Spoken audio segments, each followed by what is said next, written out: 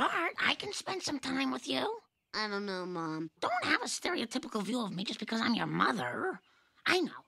How about we play the basketball? I'm no Harlem Globetrotter, but Uh, watch out for the Shaq attack.